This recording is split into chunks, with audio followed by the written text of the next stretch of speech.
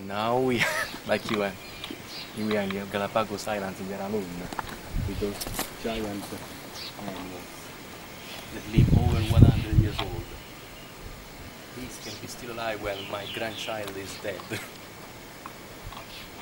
uh, her name is Ninja. And her name is uh, Turtli. Yeah. And can you come? It's a beautiful animal. aren't you? It's very nice. They don't have numbers anymore. They must be really old.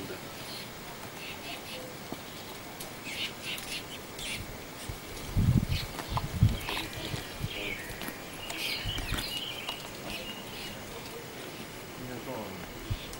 Good boy.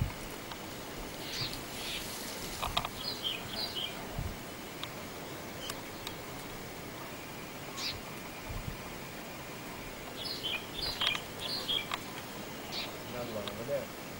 Other two over there.